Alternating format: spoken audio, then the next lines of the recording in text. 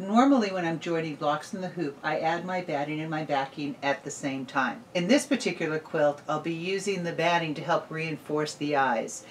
When attaching your batting, center it between the two seam lines that were stitched in color break 2. I've also added two pieces of medium weight tearaway stabilizer that will be removed after the eyes are embroidered. I've rethreaded my machine with embroidery thread and I'm ready to start stitching the eyes. In preparing the blocks, I applied several applications of non-aerosol spray starch.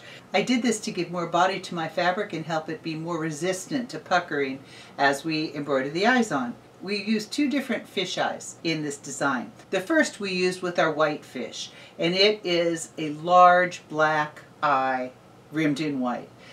The second is a white eye with a large pupil in it. And we used that for the name fish, which would be red fish, blue fish, one fish, and two fish.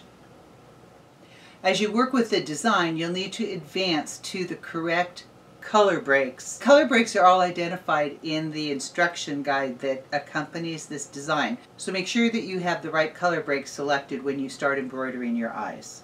Now we're going to stitch out one of the white fish eyes.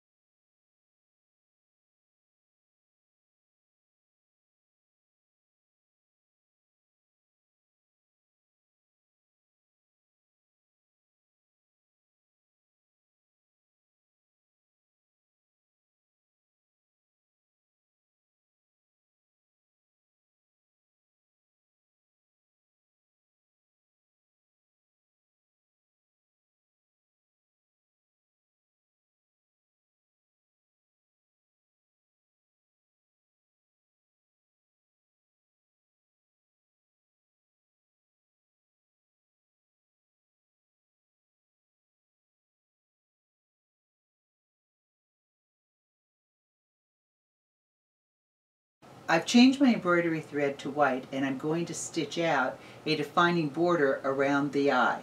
It will be followed by a black outline.